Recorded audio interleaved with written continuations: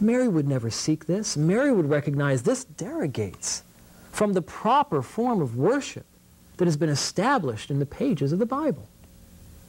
And hence involves us quite simply in idolatry. And we hear the other words of people in regards to Mary. If God is angry with a sinner and Mary takes him under her protection, she withholds the avenging arm of her son and saves him. Why did Paul say in Colossians chapter, or 1 Corinthians chapter 1, for it is by Christ Jesus that you are in him. It is by him that you have your salvation. Why?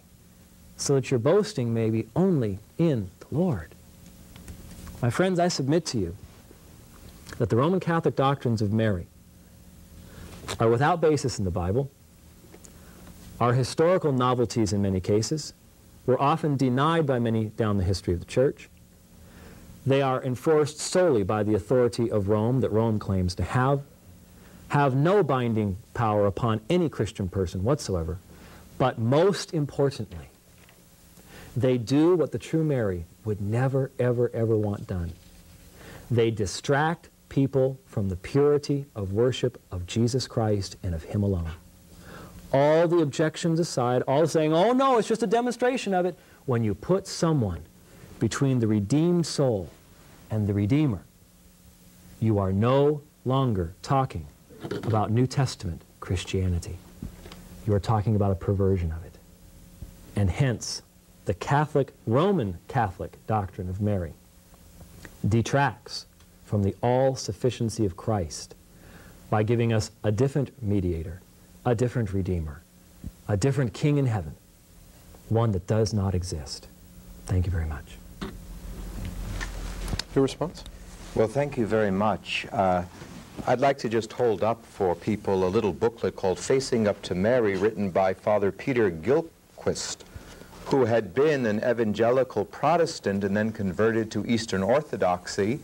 And so I just want to make it clear that the great devotion to Mary that what uh, uh, Mr. White calls Roman Catholics is shared by Eastern Christians and is deeply rooted in the piety of the Eastern Church.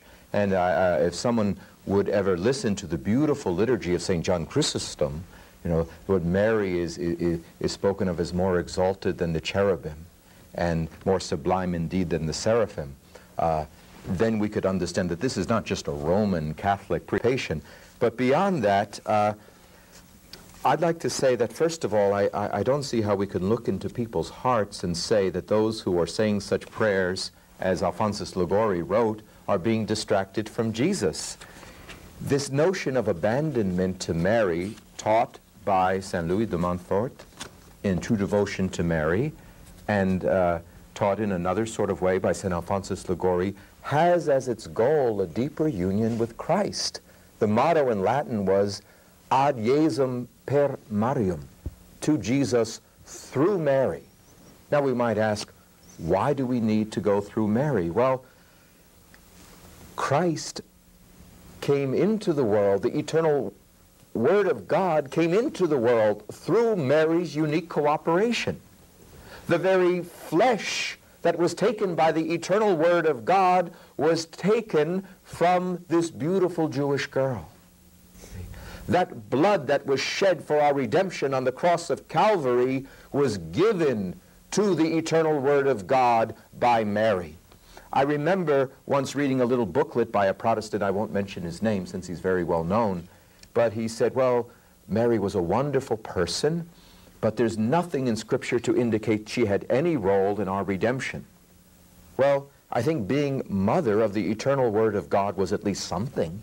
It was a role, you see. So that's why we are so uh, devoted to Mary. And again, the warning is if you're going to be devoted to Mary in such a way that you're distracted by, from Christ, no, that's not true devotion to Mary. That's what's taught in Lumen Gentium. That's what's taught by St. Louis de Montfort. That's what's taught by St. Alphonsus Liguori. Why then do some people turn to Mary to go to Christ? Well, I think uh, Francisco Suarez, the great uh, uh, Jesuit theologian, uh, explained it this way, and I'm just paraphrasing. He said, her purity and strength makes up for our deficiency. In other words, when we ask Mary to pray with us and to intercede with us, then she strengthens our poverty and helps to bring us to Christ strengthened by her prayer. Now, would Jesus object to this? No, I don't think so, because Jesus was a, a, a, a good Jewish son, and he was following what is said in the, in the Ten Commandments to honor your father and your mother. You see, now his father was the heavenly father, and his mother was Mary. And in fact, the word there could be translated, glorify your mother and your father. So Jesus uh, wants to glorify his mother. And he wants to love her and give her these special privileges. But we have to remember what makes Mary great is her humility. Hey, the great poet Dante put it so beautifully. Umile e alta più che creatura. More humble and more exalted than any creature. So in having Mary as an, exemp uh, as an exemplar or as an example, we know how to approach Christ in true humility and faith. Thank you. James, your response?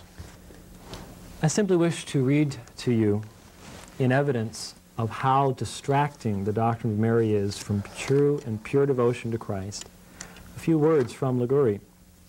There is no doubt, St. Bernard adds, that Jesus Christ is the only mediator of justice between men and God, but because men acknowledge and fear the divine majesty, which is in him as God, for this reason it was necessary to assign us another advocate, to whom we might have recourse with less fear and more confidence, and this advocate is Mary, than whom we cannot find one more powerful than with his divine majesty or one more merciful towards ourselves. A mediator then was needed with the mediator himself.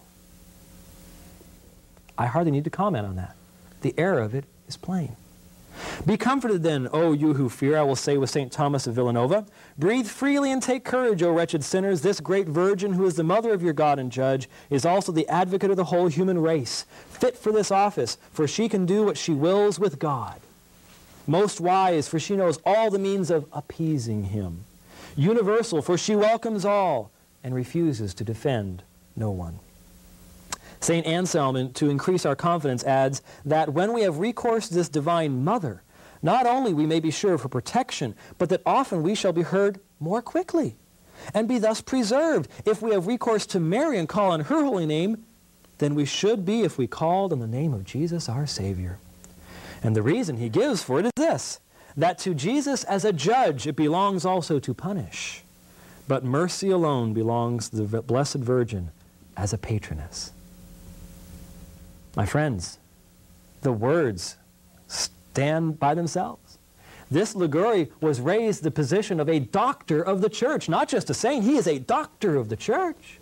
If these words are false, 20 times the congregation of sacred rites looked at this, at his works, at his writings before he was canonized as a saint and then raised to doctor of the church. If Rome does not come out, I submit to you, if Rome does not come out and say, this is blasphemy unheeded, this is blasphemy of the highest rank, we deny this. If they simply say, well, we can't tell you whether you have to believe that or not believe that, Rome is by that very action demonstrating she has no knowledge of the truth of Jesus Christ. No person could possibly hear these words and not say, wait, wait, Jesus is the mediator. Fearing Jesus, why would you fear Jesus? He's borne your sins in your stead. He sent his spirit to dwell within. How can you possibly think such blasphemous thoughts about him? How can it be? Remember, it is not my purpose today, though it would be something we could do in the future, to look at every one of these doctrines and demonstrate that every single one of these doctrines is biblically inaccurate, every single one of these doctrines is historically countermanded by numerous references. I have all that material before me. Remember what the thesis is. The Catholic doctrine of Mary detracts from the all-sufficiency of Christ. I am in the enviable position of simply reading what is said. The words stand on their own. Any person with hearing has to go, wait, wait, all arguments aside, when you tell me that my prayers will be heard more quickly through Mary than coming to Jesus because he's a judge, you know nothing of the one who is our hope. You know nothing of the one who is the fountain of all mercy, Jesus Christ and him alone. That detracts from the all-sufficient